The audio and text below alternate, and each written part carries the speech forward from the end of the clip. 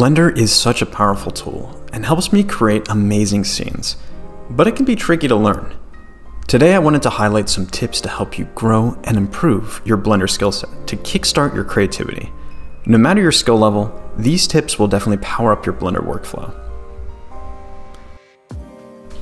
Tip number one, just start. Sometimes that's literally half the battle. When I first started with Blender, I was very intimidated by the complexity of the software. But honestly, if you just get going little by little, you'll slowly get the hang of things and be able to just vibe. Start small and just try to get familiar with the software. Even if you spend just a couple minutes per day navigating around the 3D viewport or experimenting with some of the tools, it'll go a long way. Tip number two, experiment with everything. You don't know what you'll truly gravitate towards until you just play around.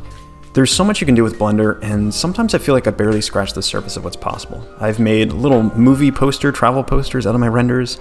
I've worked on all kinds of different little cartoonish type animations.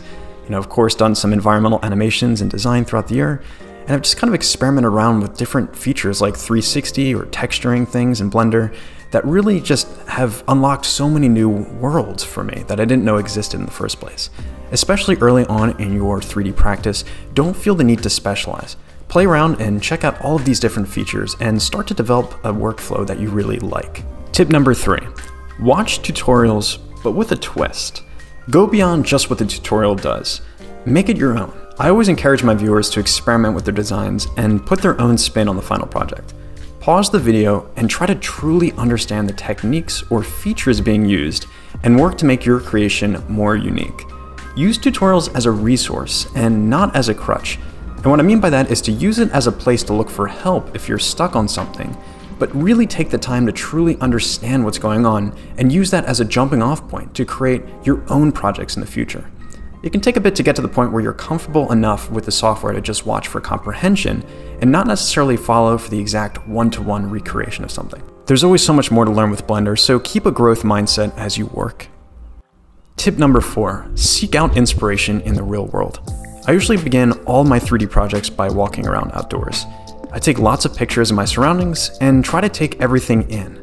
With 3D software, it's so important to work on your real world observation skills to understand how key elements of 3D like light, texture, shape, and imperfection work in the world around you.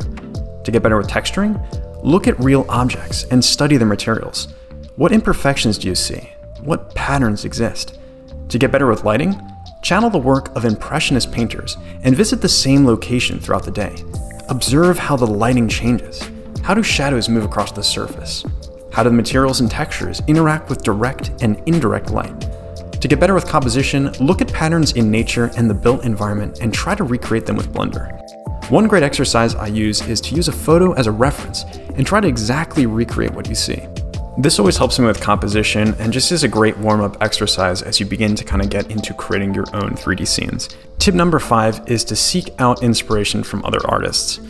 All art is inspired by something, and I often like to begin my search by looking at 3D models and categories and collections like the Scan the World, and that'll often assemble a lot of my inspiration into a mood board and start creating. With anything, don't directly copy other artists, but see what in their work inspires you with your own creations. This may be the composition or the lighting or the color palette you choose, but just take the time to observe what you see in other artwork and try to create your own. Tip number six, practice, practice, practice. With anything, you need to put in the work to get better. It's a pretty good feeling to put in lots of practice and reps and finally see results, like getting a number one victory royale with style. I mean, rendering pretty much anything you can come up with. Make Blender a daily practice if possible.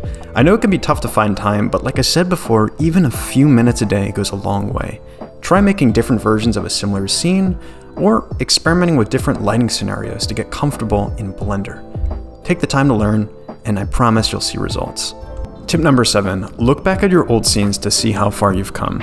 Back in college, I keep a logbook of all the work I did each day in my thesis research. It helped me look back to see what I did each day, but also helped me see the progress and sometimes backward progress I made. It put things in perspective and really showed me just how much I was actually learning with the software. I'll often revisit old scenes with fresh eyes and kind of see what changes and tweaks I can make to them with all the new stuff I've learned. And finally, tip number 8 is to just have fun.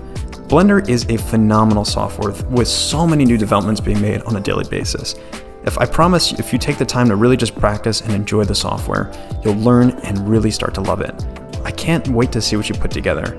Stay tuned for the next video and subscribe for more. Thank you so much.